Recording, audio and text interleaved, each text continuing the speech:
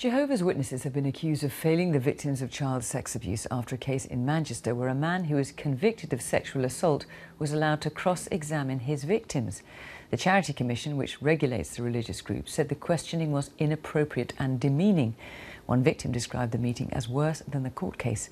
An audio recording of the meeting has been passed to our social affairs correspondent Michael Buchanan.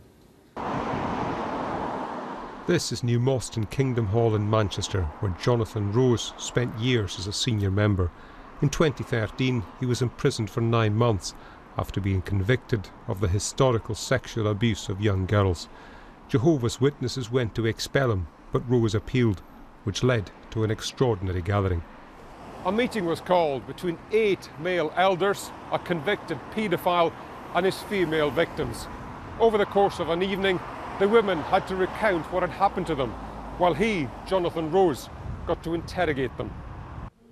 Each woman was questioned separately. One secretly recorded her grilling by Jonathan Rose.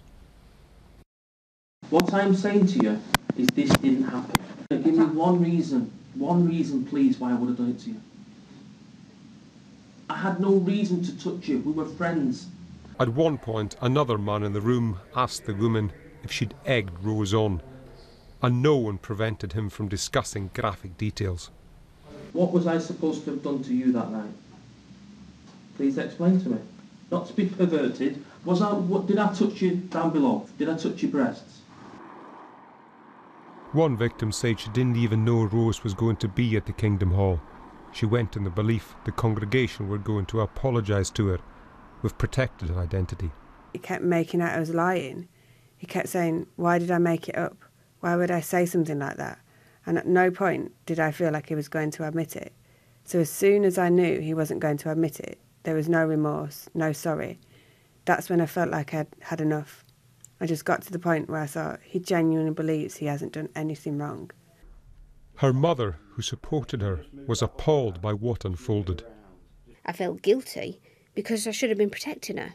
It shouldn't have been allowed. That meeting should not have been allowed, ever. Jehovah's Witnesses say this evening that they have robust child protection policies and put appropriate restrictions on anyone found guilty of sexual abuse. Today's report, however, said their actions in Manchester failed the women.